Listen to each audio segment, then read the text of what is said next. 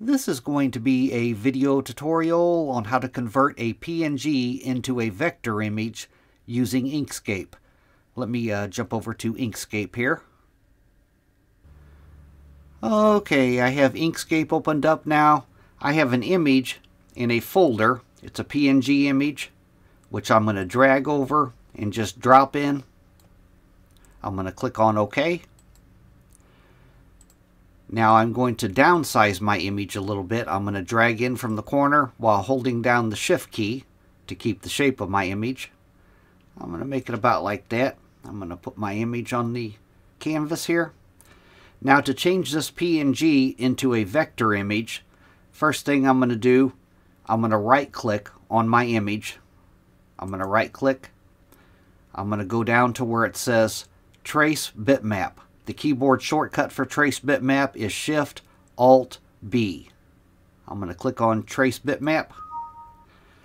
Now in the pane that opens up on the uh, left side here, this is something you have to play around with. It all depends on what your image is. My image is a color image.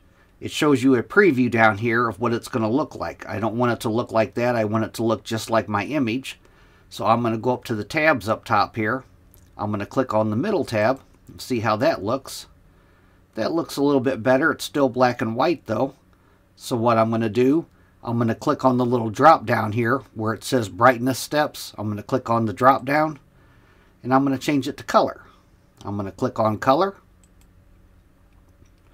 That looks a whole lot better.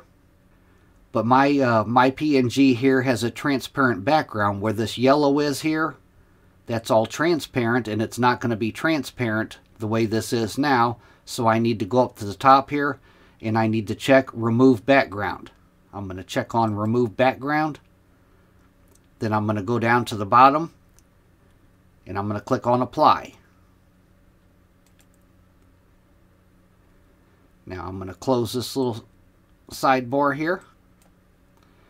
And now it looks like nothing has changed, but actually my vector image has been placed right on the top of my uh, PNG. So I'm going to hold down my left mouse button on my image. I'm going to drag over. That is my vector image right here off to the right side. This is my PNG here. I'm going to click on my PNG. I'm going to hit the delete key. Now I'm going to drag my vector back over here.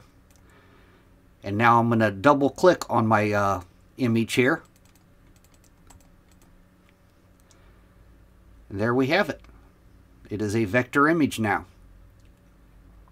That is how you turn a PNG into a vector image using Inkscape.